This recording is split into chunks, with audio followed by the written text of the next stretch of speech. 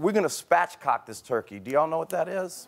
Okay, I like spatchcocking the turkey because it cooks a lot faster. If you get a 10 or 12, 14 pound turkey, it'll take maybe an hour and a half to two hours to cook, which is a lot quicker than normal. So what you wanna do is put it breast side down, and we're gonna take these kitchen shears, and we're gonna cut this backbone out.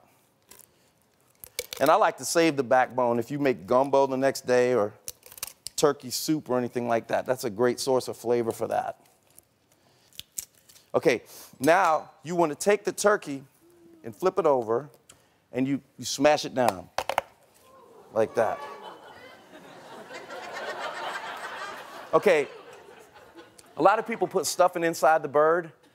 I don't think that's a very good idea because it's going to take a lot longer for the heat from the oven to get to the inside. It's just a, I find a, it's better to make the stuffing separately, which Jill makes incredible stuffing. So now that we have this, what you want to do is take the old my friend Meathead calls it the Simon and Garfunkel rub. Parsley, sage, rosemary, and thyme. You put that in the blender. You're supposed to measure it. I don't measure it. And you blend it up until it becomes like a, like a powder. And then you want to separate the skin from the turkey as best as you can. You can go there with your gloves and kind of reach around in there and try to try to stick your hand under there and make a space. And then we're gonna take some of that, we're gonna take this, take this rub,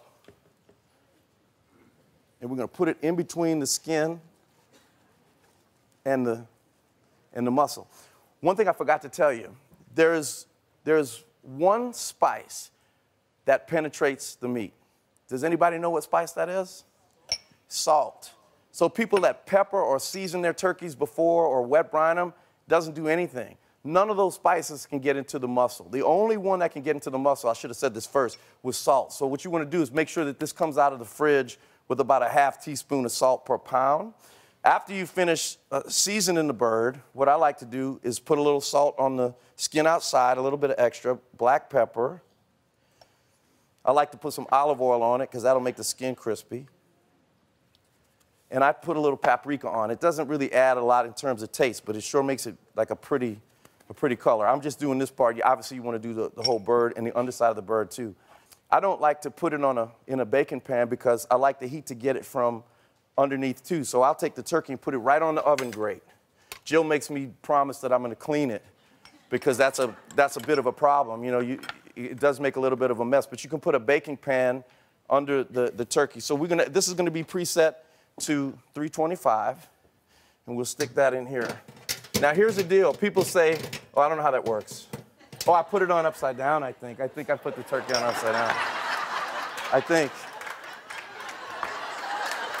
I think. No, I, I can't do it. So, as I was saying, now,